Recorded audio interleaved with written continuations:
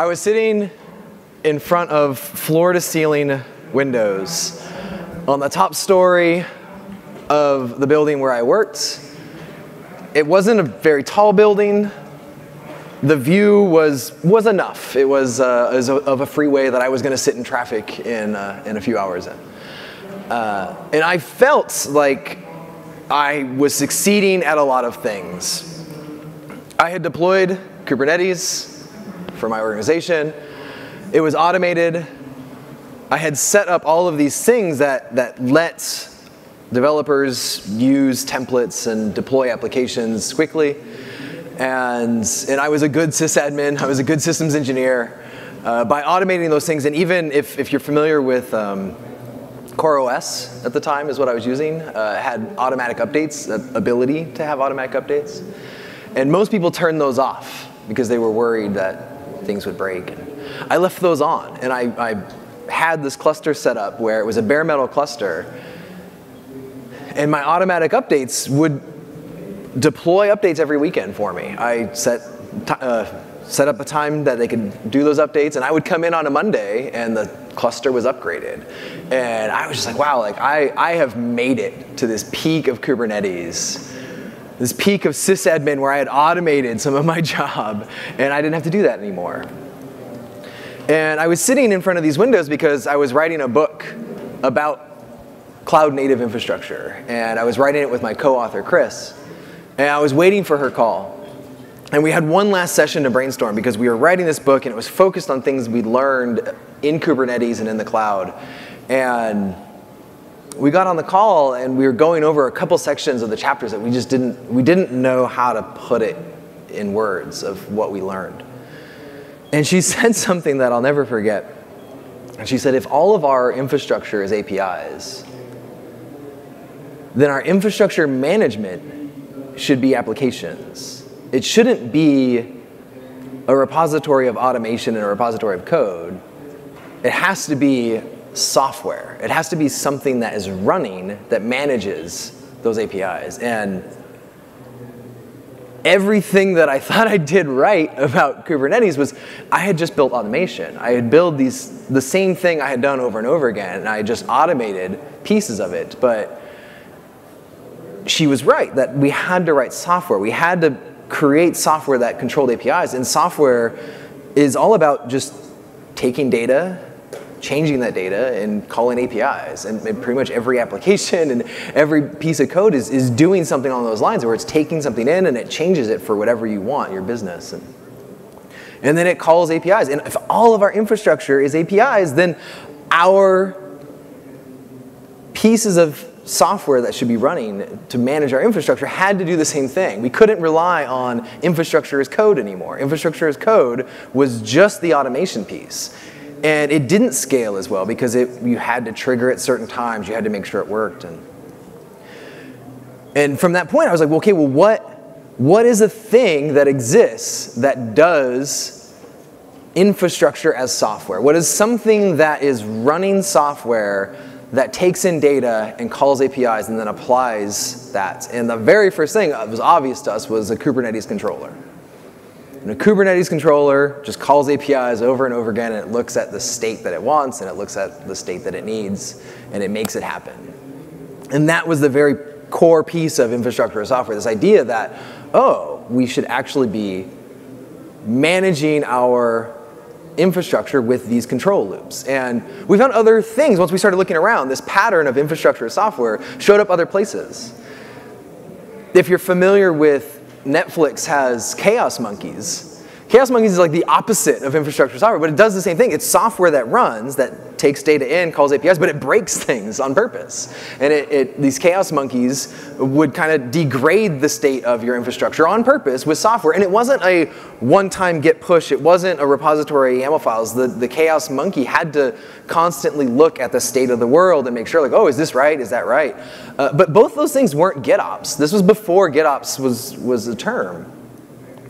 But it, it fit really well. Once, once GitOps was announced and kind of the, solidified into these four principles that we've been hearing all day, once I heard about GitOps, I'm like, it's infrastructure as software. It's exactly the thing that we learned in Kubernetes controllers that we saw over and over again at large scales, at, at very high impact in high velocity environments. You had to manage it as software. And GitOps is a core definition of that. It's an implementation of infrastructure as software. It, just, it does this control loop, it takes in that data, and it calls data. And when I, I like to visualize things, I, I, I, don't know if anyone's ever seen me talk somewhere, I like to use props. I like to use things that are visual. I'm a very visual person. And so if you've never seen these, these are AWS snowballs. Um, they, they have 52 cores in them, 256 gigs of RAM. They're Snowball Edge devices. And, and I'm using them today to represent like standing up our infrastructure. And this is essentially, if you're using AWS, it's like a 16 extra large, right? It's like that's, that's how big one of these boxes is. And we'll ship them to you. And you can run edge compute with them. You can put storage on. I think they had 42 terabytes of storage. Um, they're, they're pretty, pretty nice to have at the edge. But this was what I was thinking when I had on-prem servers. I would stand these up. And what do you call two snowballs on top of each other? It's a snowman. Um, Anyway, but when, when I'm running infrastructure, I would deploy it and I would run these scripts that would stand up my infrastructure and it would get it all set so that every time I wanted to run it, I would trigger something, Jenkins, whatever, it would actually deploy this. And it was great because while I automated that piece of it, it was, I couldn't touch it. I couldn't do other things to it. And realizing time and time again that infrastructure is code, again, it didn't, it wasn't enough because someone would come along and like do something to the infrastructure. Something would break, and nothing brought it back. Nothing stood those back up. Nothing brought it back to the desired state until we ran that infrastructure as code again. That, that repo of code that we had that stood these up, that's what actually would bring it back to a state that was like, okay, now we're good. And the main thing there of those controllers, infrastructure as software, is you always have something watching this state. That you don't have to worry about like, oh, it's, it's gonna go. It's, nope, nope. Software is constantly looking at that desired state and, and catching it before things fall over. Or if it does, it, again, it'll bring it back to that state for us. We don't have to trigger our CI/CD. We don't have to do this stuff. I just like knocking these over now. no one tell my, my coworkers. Um, they're, they're rugged, it's fine. But I wanted to come and, and talk about why GitOps is really powerful in the, the things, the core principles of GitOps illustrates this really well. And yes, you're going to have more than one controller managing your infrastructure. You're going to have Kubernetes controllers. You can probably have cloud controllers that do different things. There's all these controllers that are implementations of software. And the first thing that I, I wanted just to touch on again is this, what is like the code piece? Like what is the, the thing that we always, everyone's like infrastructure is code everywhere. Everywhere infrastructure is code. And like if I really like, okay, that's fine. All is, we know running this isn't infrastructure as code, right? Like that's, well, that, that's not it because you can't run it at your command line. You don't want people manually doing this. So what you really want is, is something like this. Oops.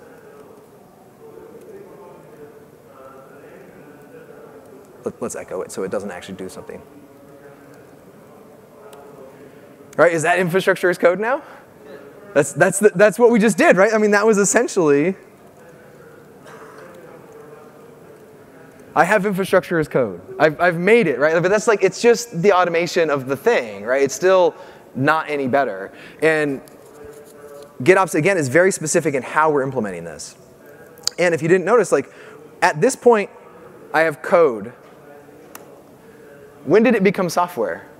Like, where, where was the piece in there that we're like, oh, now it was, oh, it's done. Like, a, uh, it's no longer software, right? It's like, software is code while it runs. It's only in that running state. It's only the code with electricity applied to it.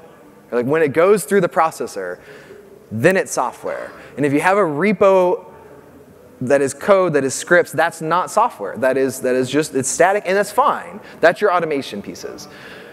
But how do we break this up to say like, okay, well, we need this to be applicable. We need it to be always running. We need it to be software.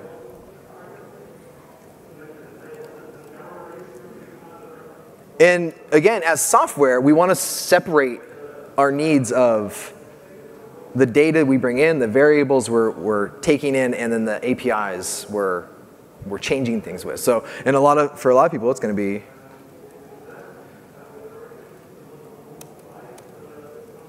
All right, Like now, now it's now it's kind of software. Now it's a it, Terraform is a controller. Terraform looks at a desired state, it looks at the current state, and it reconciles them. Right? It's just a command line version of it. It runs locally. It's exactly what a controller inside of Kubernetes is doing. It's exactly what it Flux and GitOps is doing. It's doing the same sort of reconciliation, and that's fine. Um, but it's, it's, it's again, it's not what GitOps is proposing. Because in this case, you could Oh.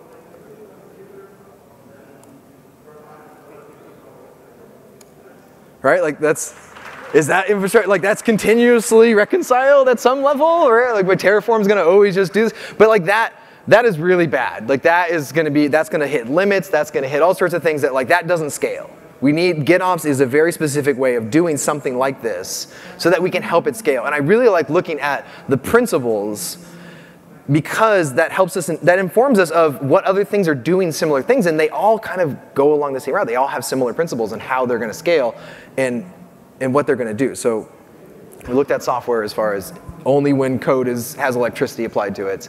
And so here's these principles that, again, you've been hearing them all day. I'm not going to oh, repeat every single one of them, but this declarative piece is all about separating out the step by step from data, from the data that feeds a controller, right? And that, that's, we're declaring a state. I, oh, for a long time, I falsely believed that declarative meant nothing was imperative. And that is absolutely not true. When I run Terraform apply, I declare my state in my tfvars, my, my, you know, my Terraform manifests. But Terraform does everything declare, er, imperatively, right? It builds this DAG that then says, okay, I need to do this first, then I need to do this first. That is, that is exactly imperative. I just didn't have to define it. So I, for the longest time, thought, whoa, controllers are declarative. I'm like, wait a minute. That doesn't make sense. Like something has to say this goes first, then that, then this. And the important thing is to have computers do that for us and not in a script because humans have a lot more assumptions with a lot narrow, narrower scope view of the state of the world. And controllers and Flux and Terraform can get a more holistic uh, view of what's going to be applied. And that's when they can actually see what needs to happen in order. And again, it's, it's not that declarative means nothing is imperative. It means that you're separating out your end state to something that your interface to the thing says, I want this to happen. But something back there does step by step by step. So what we do is Oops.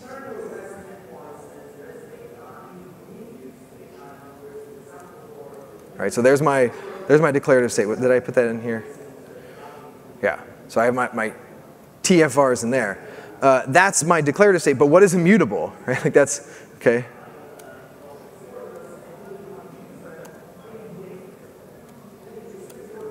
That's it, right? I'm immutable now. I'm, I can't write to it anymore. That's, that's all we did. Like, that's all we had to do, and now we're immutable.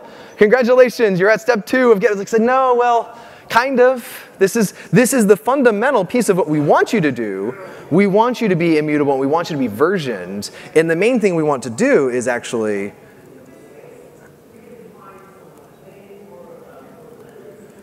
oops, that's, see, I got permission died. I, I want to I wanna version this in order. I want to go to the next version. And so in here, what do we need to do? We gotta, let's see. Let's first sort that. Let's find all of them. We only want to apply latest, right? Because that's, that's we're good. Uh, I think that'll do it. I think it's something like that. Let's see. Version 2. Right, there we go. We, we're now only pulling in the latest version. So every time, thank you, next door. Every time we're going to run our infrastructure as code, this is still just code, that becomes software, it pulls in this latest version, immutable state. It's declarative, it's immutable. We're almost there. we're, we're building our own GitOps uh, with this infrastructure as software mindset. Polling uh, in GitOps is, is two very important things that I really like that they put this as a core piece of, of GitOps. And I know there's, there's different sort of uh, pieces here, but there's two big reasons you want to pull your desired state, the, the data that you have, you want to pull that in. And one is for scalability, because if you have one or two clusters or one or two servers, you're probably fine. If you have a thousand, it's going to be a little bit harder to push that out and, and push that everywhere. Whereas a pull states, it's a lot easier for us. We've just technology in general, have known how to serve some files for a very long time. We can serve websites, we can serve static stuff, we can cache them, uh, but the compute side of it is intensive, and all of the API calls that result in, in that action happening takes a long time. So we pull that data first. We want to make sure that's stored somewhere. Yeah, you store it in Git. Yeah, you store it in a web server, wherever. Uh, but that's, that's one important thing. And the security aspect is the other one. Because if you haven't been paying attention to any sort of breaches over the past five years, a big way in the door is, is CI/CD systems that have global admin access everywhere, and and that is difficult when you can just get to one system and then you can move horizontally anywhere, and and we want to prevent that. Uh, the downsides, of course, is you have to run more controllers. You have to run more software places that only have limited scope of what they can apply to. But the benefit there is if they if something breaks in that one limited controller, it doesn't have a large blast radius. It has a very limited for security, for downtime, for all these other things. So this is this pull aspect is really good for the scalability. It's just a lesson learned, right? Like Weaveworks had been doing this for a little while. They're like, hey, you should probably pull that stuff. Here's why. Um, and it's, it's a great principle to have. And so in our infrastructure, um,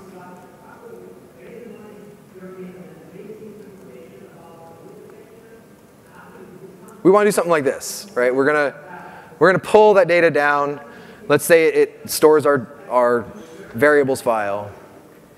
And once we pull it down, then we're almost set to go, right? Because then I can run that Terraform apply. And I can assume that, you know, bash being bash, like assume that if that fails, my, my code would exit and I don't actually have a problem of half, half variable files applying somewhere.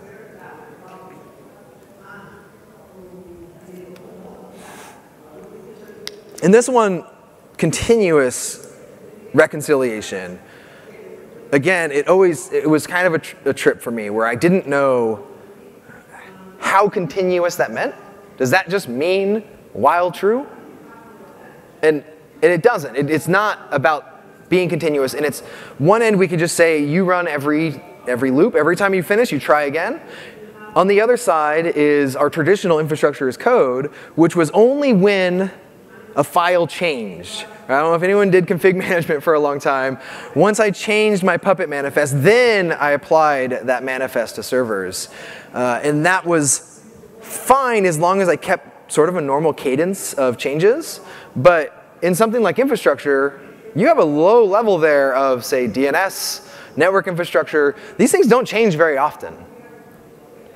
And if you're changing those with a while loop, you will likely break something, and that is scary. And so you wanted something beyond the, like only when a file changes, because again, if, if, a, if I wait for a file change, and that happens to my network, I'm going to be parsing Terraform state files. I'm going to be manually fixing Terraform state files. And if anyone has done that, that is a bad night on call. Uh, I am sorry if you've ever had to go through that, uh, but that was, that was a downside of infrastructure as code, right? Like I thought when I had my Terraform as code, or my, my, my Terraform manifest, and when I was on call and I got this call and I was like, how could it be down? I have infrastructure as code. Infrastructure as code solved this problem, and then my state was completely to a point where the steps Terraform was gonna do, the imperative steps, he says, I can't. I can't get from here to there because someone in the console did something that broke everything. And now you have to go fix it. I had to go in and I had to manu manually adjust Terraform state, or I'd manually go to the console and figure out the knobs to turn to get it back to some place that Terraform could apply it. And that was the difference between infrastructure as code and this sort of GitOps style continuous reconciliation. And that's the last piece that we want here, where I want to take this script, and when I want to do it more than just when a file changes, I want to do it when infrastructure changes too. But we're going to simplify it for, uh, because this is a, a crappy demo of uh, what we're doing here. So let's say, um, if you've never used iWatch, oh, and I got to find it, there it is, because uh, I couldn't remember this one off the top of my head iWatch will watch for file system changes uh, and, and run a command. So we're telling iWatch, as soon as a file is written in this folder, close write is the, is the thing it's going to look for. Uh, in this folder, run my infrastructure as code script. And, and so over here, I can actually, um, let's do version 3 right? And now I saw, like right here, it, it immediately applied that thing. This is still, at this point, oh, I, did, I got version 2. Oh, I got a bug. See, that's a problem. oh, did I, I, I spelled it wrong. Look at that. Good catch. See, and that's what code review is for. there we go. Now we get version 3. There it is. Thank you. See, we caught that in code review. That's still in this case, obviously, looking for file changes on disk. But GitOps is doing that reconciliation, and, and, one of the cool things about Flux and Argo and these things, they're, they're doing that two-way sync. And it's one step beyond what a typical controller like this is gonna do, where I'm only looking at my local files, and, and traditionally we're only looking for a git push. And what you actually wanna do is you wanna look at that full state of the infrastructure, and you say, hey, I'm just gonna check it. Terraform's gonna go out there and terraform planet every once in a while, and say, hey, I think something's different now. And you can hook into these sorts of signals. Amazon, we have EventBridge. There's all these different ways that you can look at what is going on in the infrastructure, and you can trigger things based on any changes, right? I could look at my CloudWatch logs or CloudTrail and say, hey, whenever something happens with this scope, I want to run that controller, I want to make sure that my infrastructure is back to where it was. And that was, that was for me, the, just how I started growing from what did infrastructure as code look like and why was code not enough, now to we had controllers and Kubernetes controllers and how those get applied inside the cluster was a great thing because, again, it knows the entire state of the API server, the data that stores in, and it gives you a ton of different annotations and uh, logs and events inside of Kubernetes, and then applying that at a more generic way is really what GitOps is all about. And, that's, and you can apply GitOps principles, you can apply infrastructure as software principles to anything. And it's not just the Kubernetes pieces, because again, you're gonna have different scopes for these controllers. And if you think that you're gonna do one controller and it's gonna do everything, it's like writing one Terraform main file that does everything. You don't want that scope. You don't want that blast radius for one file, for one controller. So you do want to separate these things out. You want to have that limited scope. Having pull-based limited scope inside of environments is a great idea. And then applying this whenever there's a change on the infrastructure or on files is, is really that last piece. And, and that's really all I have for why infrastructure is software and GitOps work so well together. GitOps is a implementation of infrastructure as software, and that is the main direction that all of this should be going in, and I think it's been a great progress with GitOps in general so far. So thank you.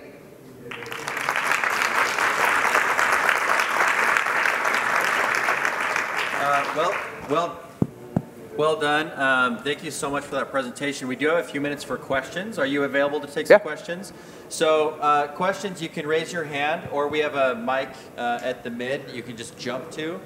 Uh, any questions? I, I will say I am showing off running Kubernetes on these in the AWS booth tomorrow uh, with EKS Anywhere, which also implements GitOps. So if you want to see them in action with Kubernetes, uh, come by the booth tomorrow at 10:30. Those aren't hollow. No, they are real. They are they are you heavy. Really, you were really just punching those over that whole time. Yeah. I, thought, I was like, oh, he's just got the case up there. So no. It's not a big deal. No, they, they are real. All right. Well, good luck with the demo tomorrow. Yeah. so, uh, thank any you. questions? Raise your hand. Don't be shy. And I'll be around all week, so sorry. Uh, while, while they're thinking of one, um, uh, you, you were mentioning that. Can you guys hear me okay? Because I can't hear the mic feedback, but um, you, you were mentioning that uh, you felt like on some level it wasn't declarative because it relied on an imperative system for operation. Um, so, w- would you, I mean, i- i- in that case, there is no such thing as declarative, right? Right. Because everything always relies on an imperative operation.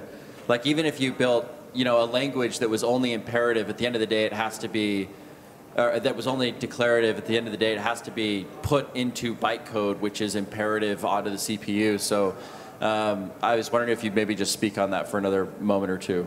Yeah, there's also no such thing as immutable, uh, which was kind of mind blowing for me to think of. That it's like, no, actually, everything changes uh, over time once we run it, and and those were two things that, as a as a sysadmin, I kept thinking like, oh, well, this is this is how it has to be, but realizing that real, the the main benefit was to the humans. The main benefit of all of this is so that you can sleep at night, so that you don't get paid, so that you can get paid your paycheck and you can have a good balance of life. If you need to scale, if you need to automate things, like automation goes so far, but there's always has to be this trigger, and GitOps really applies that trigger. And we're still just we're doing a lot of the same things and we're just pushing that out but the human interface to those imperative systems and the human interface to those what we thought were uh, immutable it was okay because my my view of what's immutable is like oh well no i want this application deployed. But then i have this other controller that comes in and says like oh but i need to scale it up. I'm like well i didn't tell it to scale up so it's not immutable because I told it five replicas, but something else figured out it needed 10.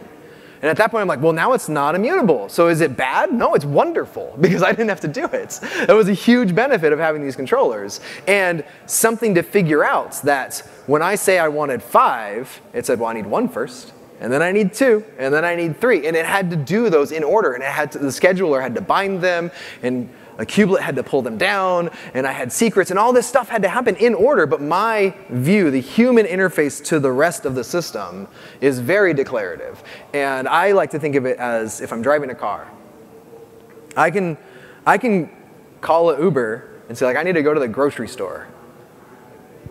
My interface to that system is I made it to the grocery store. I was there.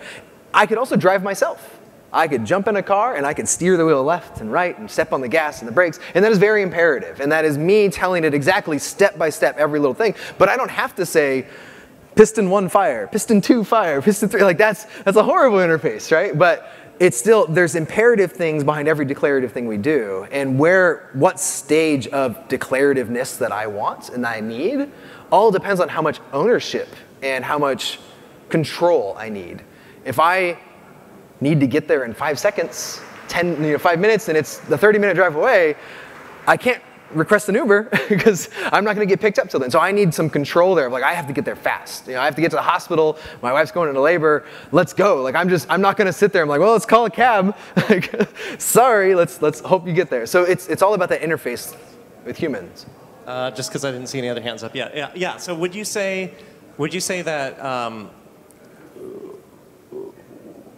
well, I don't know. Like, I don't know if it's necessarily ownership, but would you say it's how much you trust you you can trust your software that?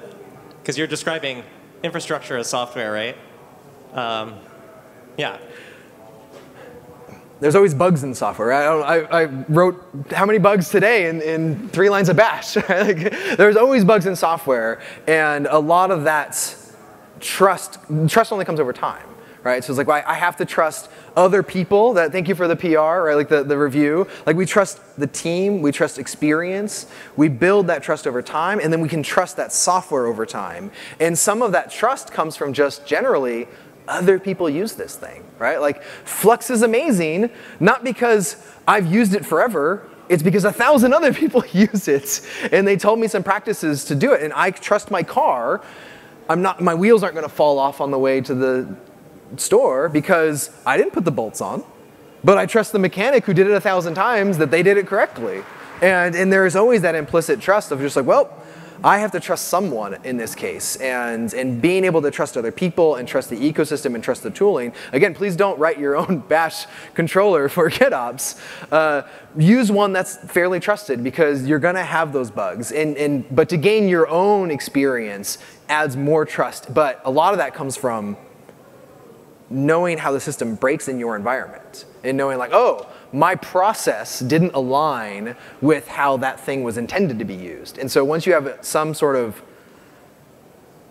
intention-based thing where you're like, oh, I think it's going to work this way, but I have five teams that are deploying to their own repos that all merged into this other thing. Like that's where you kind of get into problems because you're like, oh, actually my my ideal of how I was using it didn't align with how the rest of the community was, didn't align with the process inside our, our company. And so, but you have to build that trust for yourself as well. But yeah, gain that trust through these common tooling and, and common practices. And that's again, GitOps has those four definitions for a very good reason, and the tooling implementing them for those reasons. Uh, open for audience questions. Yep, got one over here.